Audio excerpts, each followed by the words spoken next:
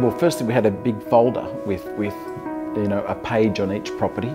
There were no photographs of houses, it was just addresses and details of how big it was and the address and, and the age, etc. Then it progressed from there to maybe a small photograph and we were taking photos ourselves and then we'd go down to the Kodak place and have them printed off uh, the photographs and we'd use those in our window display um, and, and, then eventually it came into print media but very slowly and, and as you know Peter Blackshaw were at the forefront of, of that, that sort of marketing. The Peter Blackshaw brand, I do remember distinctly opening the paper. I hadn't been in real estate at the time, but I do remember the sketch ads. It always stands out to me. You know, those days we never used to advertise properties with pictures. It was just text, you know. And then all of a sudden this agency called Peter Blackshaw Real Estate, which were marketing quality property, actually had really nice sketch ads that really jumped out at you when you looked at them in the paper. And you know, they, they were originally black and white, but then they went to colour. That was like, oh my God. So you would have heard of, you know, the caravan or those days, uh, the entire group would jump on a bus and go and look at, you know, all the new homes each week.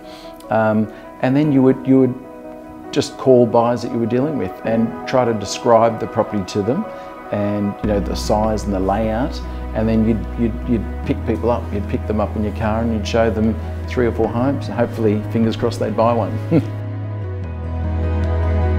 there was a reason why I started doing auctions is because uh, I started going to Peter Blackshaw auctions and thinking, wow, this is pretty cool. Um, it was a different way to sell property. Obviously it was popular in the bigger cities but not so much here in Canberra. So that whole uh, auction process and the way they, they used to do them back in the days when they first started doing auctions made me want to become an auction agent and an auctioneer because it was entertaining, it, um, it, it, it helps, it helped my profile immensely. Because when you think, you think auctions, Peter Blackshaw. Or if you think Peter Blackshaw, you think auctions.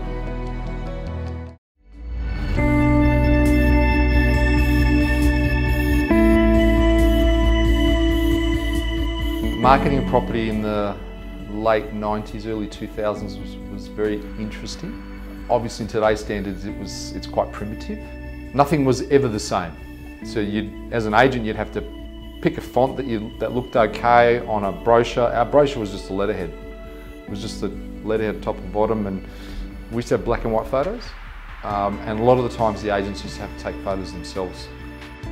So the rule was we would take the Polaroid camera from the, from the office when there was only ever one Polaroid camera and we'd stand at the front of your house and we'd take a Polaroid photo of your, of your home and we would glue stick it and put it on the front of the cover. This is our proposal document and then we would put in your letterbox. That was something that we used to use was a Polaroid camera. So we would put ads in the newspaper, maybe like a one line ad that might say like BTH for bathroom dot DBLE GGE double garage and then people would come into the office and we had a rental list like a printed list um, and they would request keys to go and view that property. We would take a $20 key deposit and a photocopy of their driver's license and off they'd trot to that one property or however many properties they were going to view. Well, we thought it was pretty advanced, but um, my boss used to talk into a dictaphone so I could type up uh, all the information and uh, all the ads were handwritten and then I was the one that would type them up and um, fax them over to the Canberra Times by deadline. Uh, yeah, so it was just, it was totally different, you know, yeah.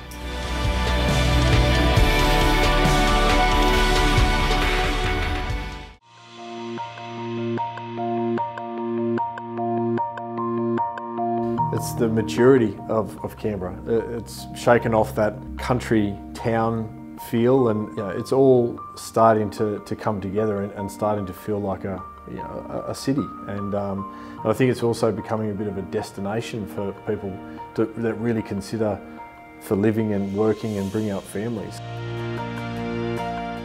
All the new suburbs that have come out in the last 10 years uh, have given people opportunities to, to break new barriers in terms of uh, design and, and um, uh, getting something that's completely out of the box. And it excites a lot of people to, to build a new home and challenge themselves every couple of years. So we're seeing a, a regular turnover of people going, you know, from, from the little little three bedroom modest home to the, to the four bedroom family home to the funky uh, designs that we're seeing today. And, and so it's, yeah, it's, it's ever changing out there all the time.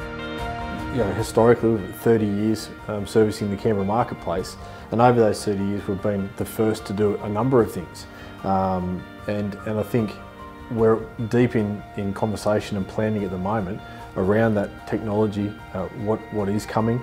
I think trying to remain at the forefront there is always important. Um, so I'm really excited about how we can do that and how we can shape our services uh, for the client going forward.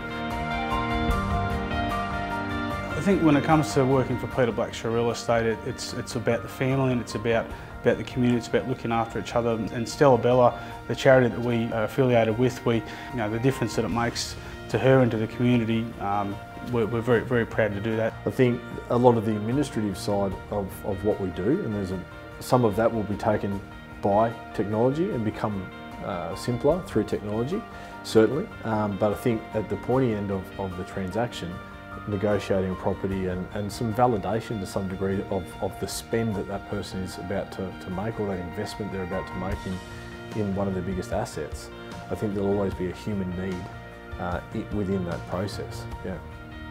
Buying a property is not something you do every day, it's something that we do every day, so we're able to provide people with the right guidance and the right assistance so that we can help them along their journey. So yeah, there's nothing, nothing's more satisfying when you've got someone who's um, very happy with, with the experience that you gave them all those years ago for them to just, yeah, just to have that trust in you. It's, it, it, it's amazing. And, and, and the trust that you've earned with those people, um, you know, that's, there's not, nothing better than that.